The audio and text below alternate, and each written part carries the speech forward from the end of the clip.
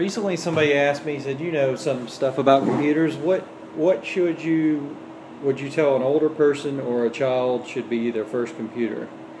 Well, if you're going to come, my answer to that is it took me a while to think of it. Is look in the toy section, the kid section of uh, Walmart and um, Best Buy and Toys R Us. Toys R Us has a really good selection of uh, durable tablets and um, handhelds. They're not really a tablet, they're kind of small. The ones I've seen there, not as small as a phone, but they're smaller than a tablet. If um, you are going to produce, you need a computer screen at least uh, 13 inches, if not bigger.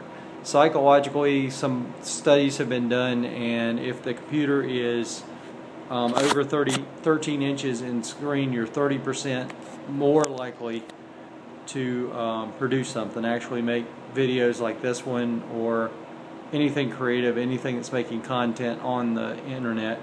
I suggest something bigger than the 13 inch. I've seen some 13.3 inch um, laptops, I mean not laptops, tablets, but I wouldn't recommend those either. Um, they're very difficult to use. You can get a uh, iPhone 4S off of eBay for less than $80. I think the iPads are going for 100 which those are very easy to use. I've had to set up Androids before and the problem I had with those is where you start out like trying to connect to the internet or set the person's account up. It took me a long time to figure out that it's not under the heading or the symbol that I thought it would be. It's actually the one to the left of it. I can't remember what it is. I think it was a world instead of the three lines, which shows that you're connected, which I found that very difficult to use. Took me a while to figure out setting that up for somebody else's phone. And it just seems kind of clunky for some reason. The um, Android is just much more difficult to use um, than an iOS system. so I'd re recommend something Apple, even if it's old and used, and or something from a kid section, so it's durable and it's easy to use. It, it takes a while to people I've worked with to get the concepts. It seems to be easier if you're a child because I think you haven't been exposed to to a system already. Um, older people uh, I try to relate it back to something that they're familiar with, like an actual desktop and files and folders and drawers and that kind of stuff, and it doesn't seem to be um, anywhere near as effective as working with children. But um, that's my two cents. Uh, desktop computers are really hard, um, difficult to carry around. Laptops can be upgraded, but you know it's a solid state, which is going to be more expensive. You're going to have to find somebody who knows what they're doing.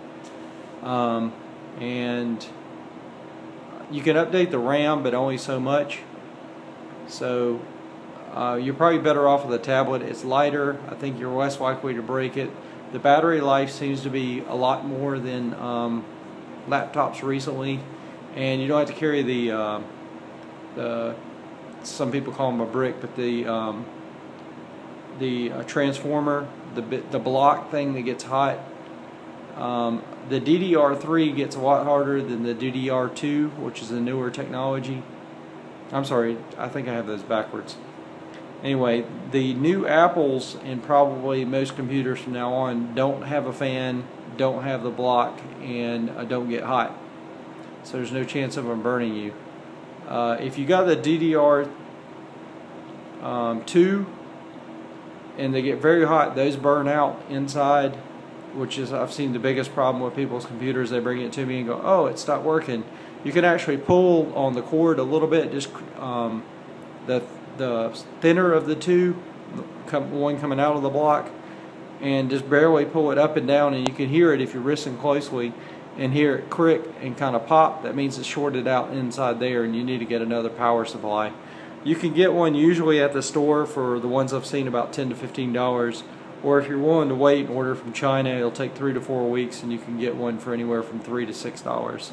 I think uh, eBay, I think, has had the best price, but Amazon and some of the others are, are you know, with, within probably 50 cents. Anyway, I hope that you found this uh, video useful. Please share it if you did.